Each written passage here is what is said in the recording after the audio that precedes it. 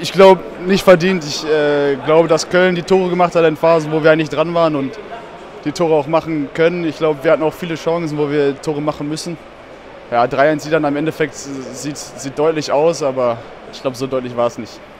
Ich glaube, ja klar, der Platz ist, ist nicht gut, aber ich glaube, wir haben alles reingehauen, haben viele Zweikämpfe geführt, haben uns überall reingehauen.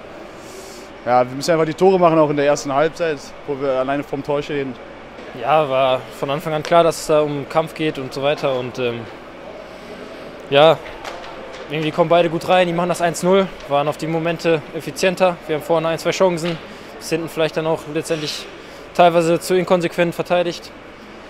Ja, und drei Tore sind zu viel und mehr als eins können wir auch machen, sage ich. Und ja, müssen wir einfach jetzt munter putzen. Weiter geht's. Wir haben nicht viel Zeit zum Nachdenken und dann geht's weiter. Ja, wie gesagt, ich will keinen Vorwurf machen an der Einstellung, an, an dem Willen, am Kampfgeist. Hat es keinem gefehlt. Ähm, klar, Platzverhältnisse sind schwierig, das wussten wir auch, dass die über lange Bälle kommen, wir über lange Bälle kommen müssen.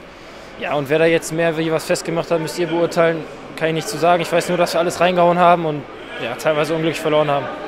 Ich würde sagen, vielleicht nicht verdient. Ich würde sagen, Köln hat äh, zur richtigen Zeit die Tore gemacht. Die waren effizient. Ich meine, es war kein schönes Spiel. Auf dem Platz kann man aber auch kein schönes Spiel erwarten.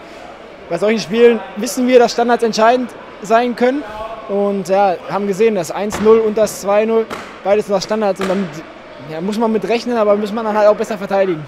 Ja, es ist natürlich immer schwierig, wenn ein Spiel mal kurz vorher abgesagt wird, aber letztendlich kommen die Spiele, wann ist eigentlich egal. Jetzt ist halt so, dass wir äh, regenerieren, spielen. Als Fußball ist es auch ganz gut. Also man trainiert ja, um zu spielen.